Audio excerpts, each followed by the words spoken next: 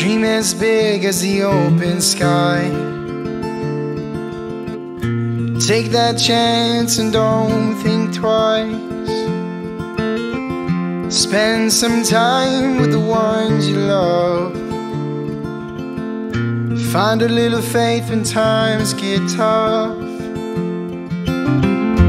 Listen.